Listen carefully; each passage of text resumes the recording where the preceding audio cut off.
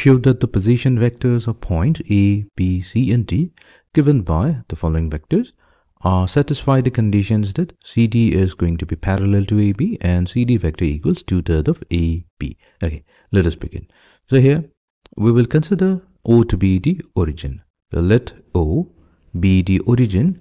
We are choosing the origin so that we can define the position vector of the given four points such that the position vector of point A is going to be defined by OA vector with value given by 2i cap plus 4k cap.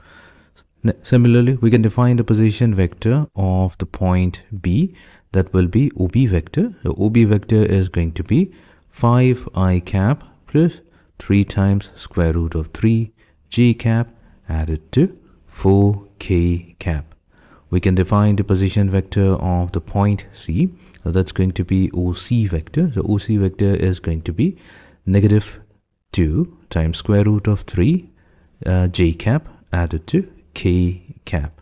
And then we have the position vector of the point D. So that is going to be represented by OD vector, which has the value 2i cap plus k cap.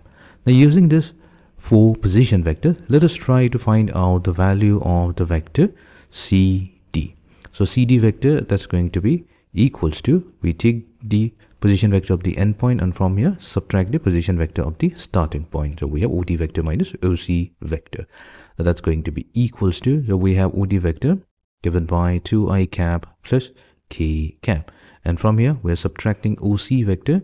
That's going to be positive 2 square root of 3 j cap minus k cap. So here k cap and k cap gets cancelled out and that leaves us with 2i cap plus 2 times square root of 3 j cap.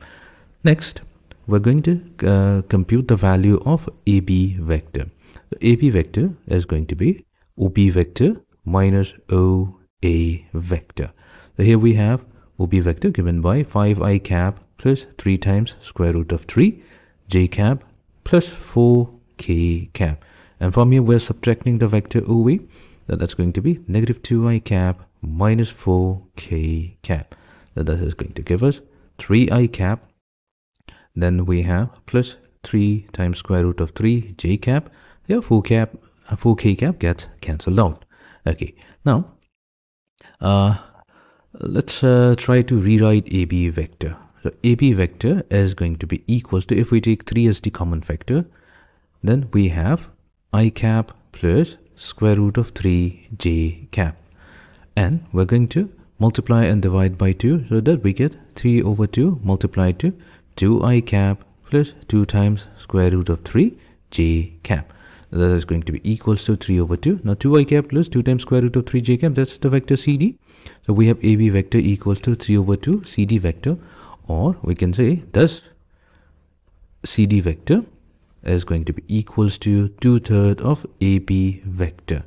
So here we have proved that CD vector equals two-thirds of AB vector and also we can express CD vector as uh, equals to some scalar multiplied to the vector AB where lambda is a scalar with a value equals to two-thirds. And whenever this particular criterion is met, we say that CD vector is going to be parallel to the vector AB.